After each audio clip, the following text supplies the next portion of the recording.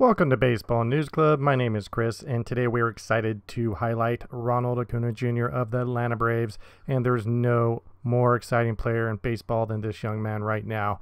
Won the 18 Rookie of the Year award, was ranked fifth in MVP voting. And what's crazy about him is he became the youngest player ever to sign a $100 million contract with Atlanta Braves. He set many records with leadoff home runs with Atlanta he's definitely and absolutely a future MVP. Ronald was three stolen bases shy of the very elite 40 40 club. However, he became the youngest player in Major League history to become part of the 30 30 club. How about that? Lightning in a bottle.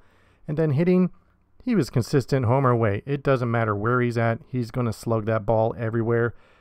Now, if you're an Atlanta Brave fan, you're very familiar with this. He set the Atlanta Braves record for leadoff home runs. And the reason why? First pitch, he's batting 461. Ridiculous. Runners in scoring position, which is part of his clutch stats, he's batting 323. He does dip down to 271 with runners in scoring position with two outs.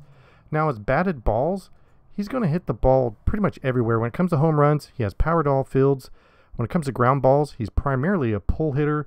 And fly balls, which is kind of interesting, he hits a lot to right and to center field. And then his line drives, forget about it. He's going to tattoo the entire field with line drives. Thank you very much for watching Baseball News Club. Please subscribe and help us grow the channel, and have yourself a great day.